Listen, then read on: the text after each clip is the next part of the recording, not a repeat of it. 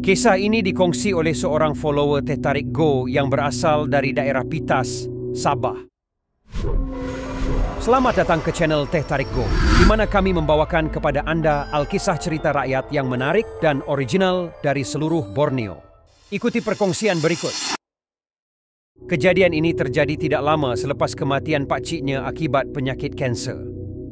Pencerita yang tinggal di kampung sebelah menerima kabar sedih tersebut dari keluarga pakciknya yang tinggal di satu kampung terletak agak jauh. Sekitar satu jam perjalanan menaiki motosikal. Waktu itu jam 1.59 subuh.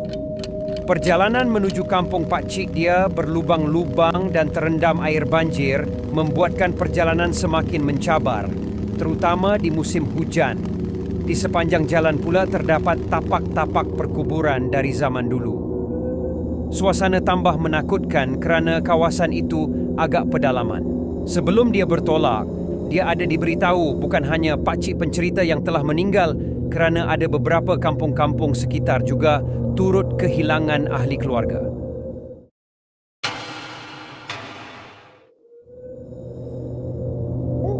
Sebelum sampai kampung pakcik dia, pencerita melewati kebun sawit dan hutan tebal apabila sesuatu yang tidak diduganya terjadi.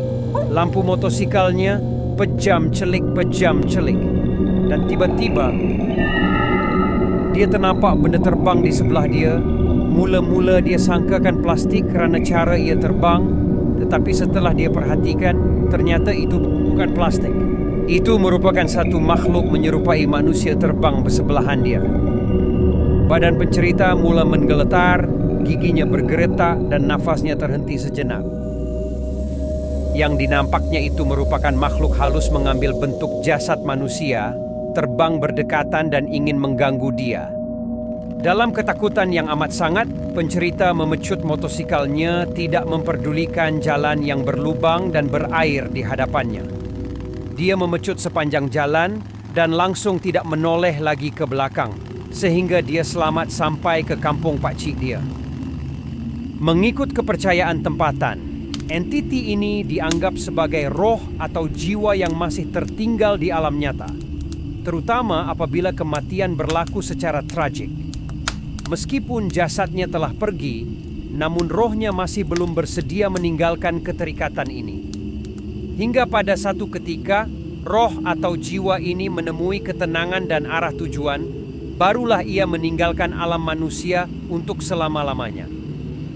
Akhir sekali pesan saya, berhati-hati dengan gangguan makhluk halus alam gaib pada waktu dini hari. Sekian cerita untuk kali ini. Terima kasih yang tertinggi dari kami kepada yang follow, subscribe, like, dan share video ini. Kami membawakan kepada Anda cerita menarik dan original dari seluruh Borneo. Kongsikan pengalaman menarik Anda kepada kami untuk peluang mendapatkan cenderahati eksklusif daripada Teh Tarik Go.